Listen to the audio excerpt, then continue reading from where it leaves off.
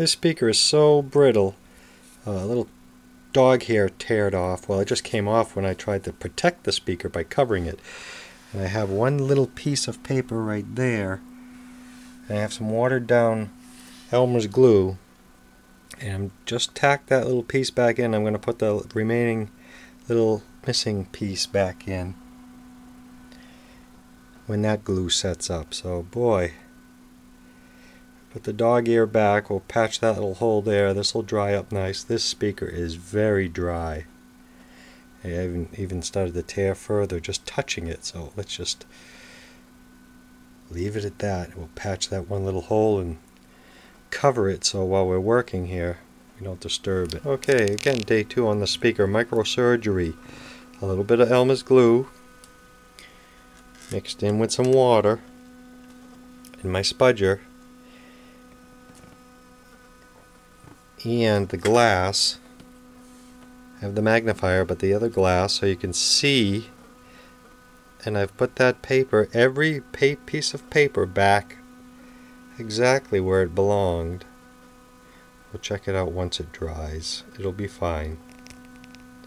That'll do it for the speaker. We're going to cover it and stay away from it. Okay, here's our repaired speaker the next morning.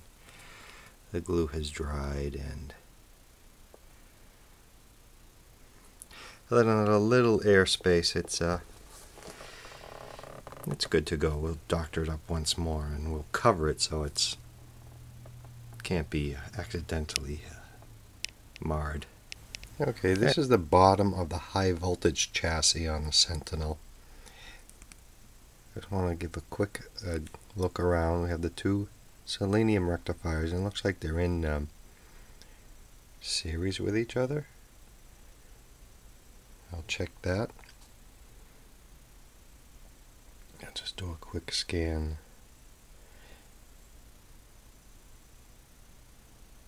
Okay, so those of you out there have any of these. This is where all the high voltage comes in, and the point where that white wire is on the left there is where our high voltage is. I know notice they have some kind of dope on there to prevent arcing. So shield for the controls. Before we change any capacitors, we'll just take a look at the baseline here. And here's the high voltage section, and uh, it's pretty cramped in there. Um, there's a filter network in here that may or may not consist of a uh, two caps and a resistor or it might be one component. I think I have the two caps and the resistor. I'm not I'm not certain on that. And uh, I want to make note here of where the feedback for the 1B3 is. This is a feedback spring and it's just under the bottom of the uh, oh whatever you want to call it there. Here's our high voltage air coil flyback. And there's something on the other side. Uh, the mica capacitors. I want to take a shot of the other side of this. This is our tube, and uh, it, although it looks crooked, I was going to clean the glass, but I'm going to hold off on cleaning the glass because I want to see where the picture was before.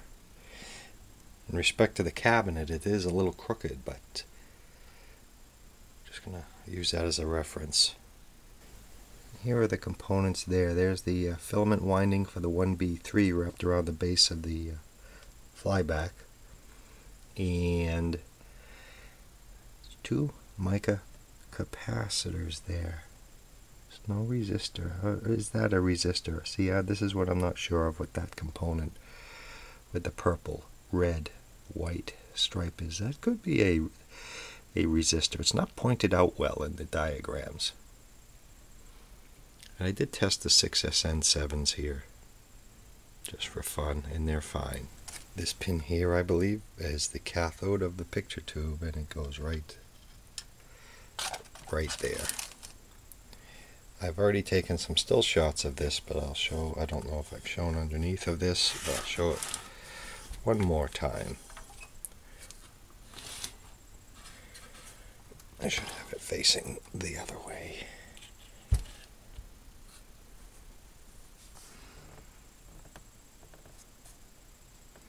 Another selenium rectifier, power transformer leads. Two green. I can't make what that color is. And uh, red.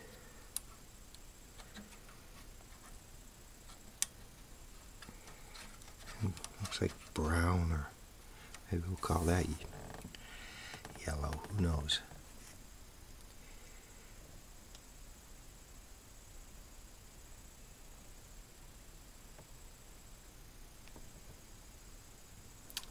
Alright, and uh, it's a resistor right there.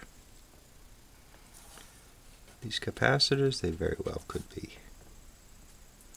That's the back of the RF chassis. And when we do get to firing this up, I'll try the Variac with the 60 watt light bulb method here to see how it does. We're going to fire this up as is first to establish a baseline as I mentioned. Okay, I got a Variac set at about 60 volts. We're going to turn the set on and watch the current. I'll set the volume about halfway. Oh yes, and we're drawing.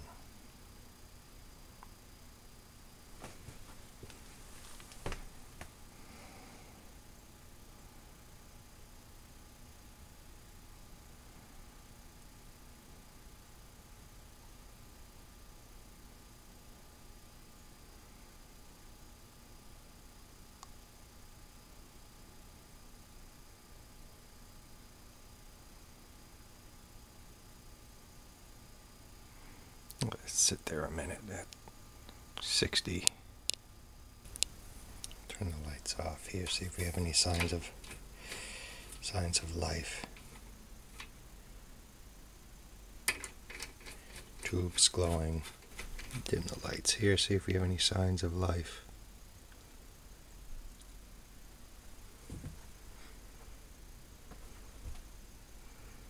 Oh yeah, that tube is lit. Okay.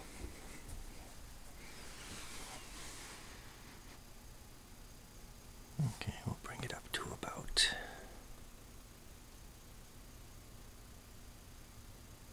up to about 75.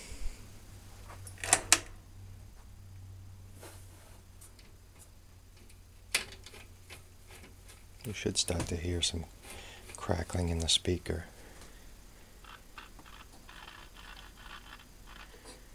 We do. Oh, is there a raster? There is raster. I can't see it, but the camera picks it up, see?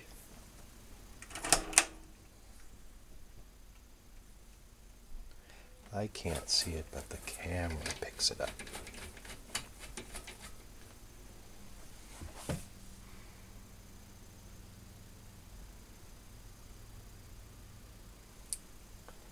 Okay, let's go up a little more.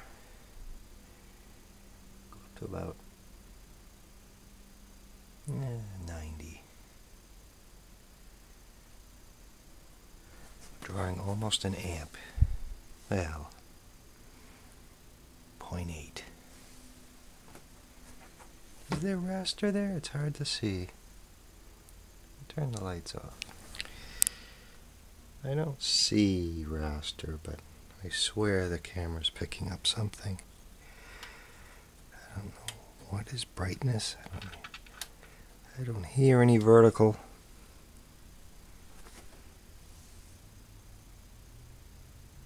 This point, I don't hear any high voltage. The CRT is lit in there.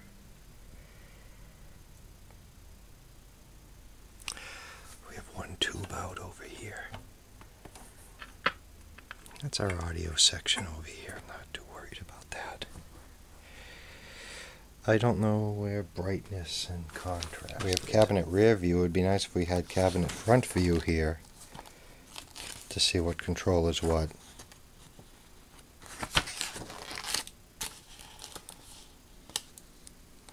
Brightness is right next to the volume control. So do max brightness, channel selector, contrast.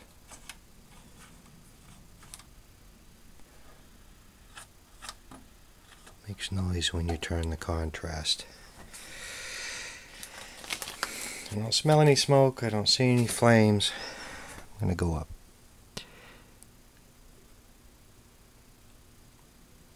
We're going to approach 120 here.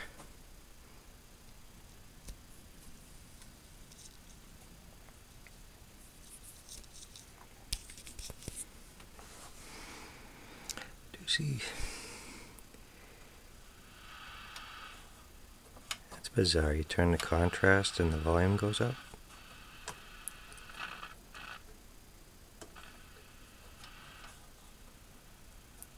I'm not turning the channel change.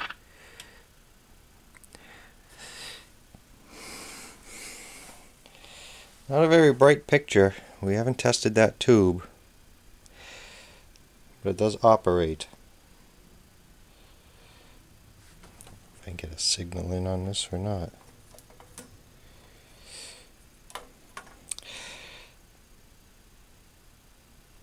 It does have raster. Not very bright though. Not a very bright tube to me. Of course, I guess they never were. Try with some lights on here, you can barely see that. Oh, we're still under an amp here. Well, it's flickering a little bit.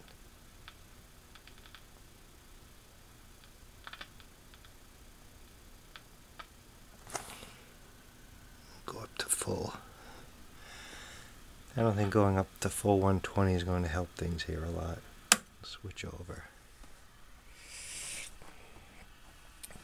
We have a weak raster, full brightness, and contrast. We'll have to test this tube with the CR70 to see if uh, should go further on this or not. I should check that. I'd like to check that high voltage. Okay. I would like to check the high voltage. Trouble is checking the high voltage, it's underneath that high voltage chassis. I don't know if I can get my probe in there or what point to get to without uh, shorting anything out. So we'll work on that later, but that is a very, very weak picture. Okay, that's it for now. Okay, I've got the chassis on point Y. I have it on its side, and we're going to just power it up quick and see one more time what we get.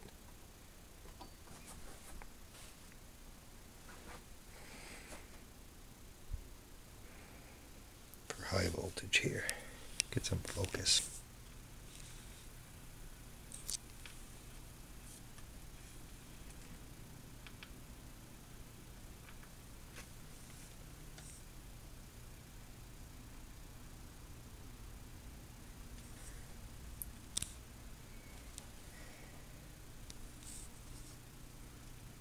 I do not see any raster.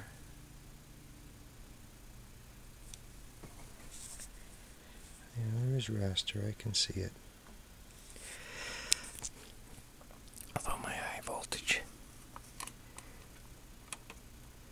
I believe that's point Y. This is a terrible situation here. Okay, am I at 120 volts? Yes, I am. So, I'm only getting about 2,000 volts everywhere I probe around here, and this is the area because that's the control that uh, point Y goes to. So probing around, the most I get is about 2,000 volts there. So, um, yeah, that could be the capacitors. I don't know. I'm going to test. We'll have to test the tube to see if the tube itself is good. I read one other article where the high voltage was down and that was causing the problem. So we'll start there. There's our baseline. I was a little nervous doing the high voltage while holding the camera. I had one Traveler TV with an earlier digital camera. All I did was place my hand on the chassis. I don't know if I had it isolated or not. It was a series set. And my lens on my camera closed and it killed the camera. The AC, whatever was going through my body, killed the camera. It actually was a Pico fuse inside the camera, and that was in about 2005. The first digital camera was uh, quite expensive, and the uh, Traveler by holding it in one hand killed it. Anyway, that's it for now. More, more in the next video.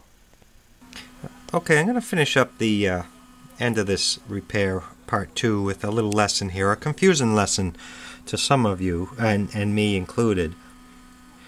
These selenium rectifiers here, it's a very blurry picture. I, I can't, it's not really clear here. I'm talking about M2 and M3. I don't know who's M2 and M3. But my point I want to get is diode's polarity, okay, and the way I was taught. I was taught the AC always is at the anode. Okay? It's just maybe a voltage doubler. I, I don't know. I'll look more into it. But anyway, I was always told AC is always connected to the anode. Anode of the diode is positive. And if you look this up, this is what's confusing nowadays. Anode is positive, cathode negative. Everywhere you look, anode positive, they're telling you this is drilled into my head. Anode is positive. And I think what they're doing is electron flow versus current flow because the diodes in this set, these seleniums, are marked plus and K on the cathode. Right there, they say plus and K. And I hooked something up that way once with that being plus, and of course they were in backwards, and I, I, I blew the circuit out. And here's our diode, you know, us here's a just an example with diode with the diagram. We all know it's a one-way valve. We it's been drilled in my head a million times. What I want, my point I'm trying to make here is, what's confusing to me, these diodes are marked cathode plus, cathode plus, which contradicts the diode polarity, with plus being the anode. So if I were to hook this up according to plus, you would put the diode this way, which would be backwards, and that would be very bad. So is it something they did with the with the seleniums? Are they are they marking it plus in reference to current flow versus electron flow? That's got to be what it is because I've been thrown by this before. Okay, they've got the little arrows going this way and the SAMS, the SAM scan here, nice going here, is uh, I don't have that part of the of the schematic. It's just uh, I have to contact them and have them rescan this because they've done this before. That scan is the power supply section I need. Here's M1 over here and it's it's drawn anode cathode. And that's on the other chassis which is not handy at the moment. But uh, I want to replace the selenium diodes. I've done it before. But I'm thrown by this plus cathode. Plus cathode. That doesn't make sense when everybody tells you cathode is negative. Cathode is negative. I don't know why they do that. So this should be a representative uh, circuit with two diodes of these selenium rectifiers. Cathode, cathode, cathode, cathode.